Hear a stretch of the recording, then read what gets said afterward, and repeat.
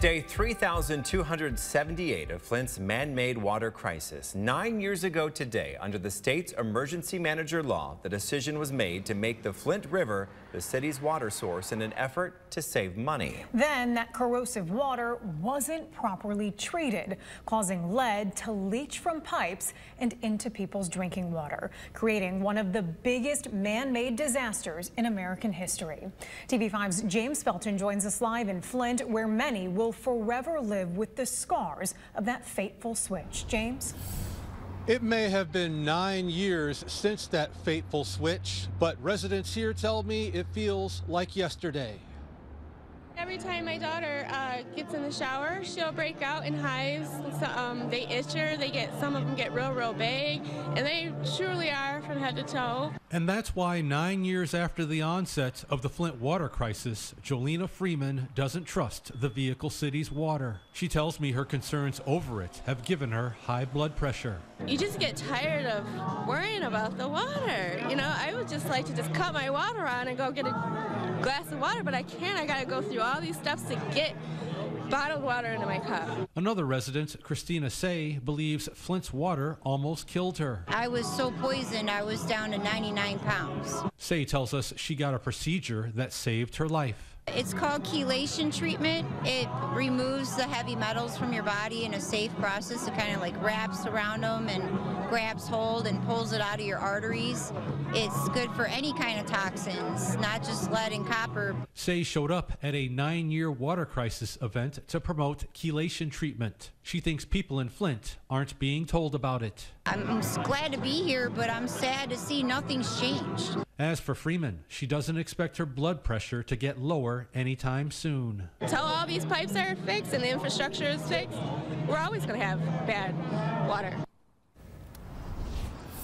And coming up tonight at 6, you'll hear from a Flint resident who says the Flint water crisis gave her a condition that will stay with her for the rest of her life. Reporting live and local in Flint, James Felton, WNEM TV5. All right, James, thank you. The decisions that led to the Flint water crisis started in March of 2012 when Genesee County announced the construction of a new pipeline to deliver water from Lake Huron to Flint. The plan would reduce costs by switching the city's water supplier from the Detroit Water and Sewerage Department to the Karegnondi Water Authority. On April 25th of 2014, the city made the switch to the Flint River. But that water wasn't properly treated with corrosion control, causing lead to begin leaching from pipes into the water people use for bathing, drinking, and cooking. In the months that followed, residents complained about the water's odor, taste, and appearance, reporting rashes, hair loss, and other health concerns. In September of 2015, a group of doctors urged the city to stop using the Flint River after finding high levels of lead in children's blood. State regulators insisted the water was safe.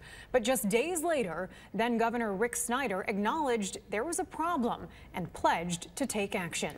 Fast forward to January of 2016, Snyder declared a state of emergency in Flint. On the same day, federal officials confirmed they were investigating the water crisis. Then Governor asked the federal government for help while the state National Guard started distributing bottled water and filters to residents. In October of 2019, in response to the situation in Flint and other cities, the EPA proposed its first major revision in two decades of federal regulations for lead in drinking water. It included new requirements for local water systems and added procedures to replace lead service lines in areas where lead content was above allowable levels. And just last month, a Genesee County judge gave final approval to a major settlement in the water crisis. The state and other defendants agreed to pay a grand total of more than $600 million. The agreement establishes a court-monitored victims compensation fund, providing direct payments to impacted residents.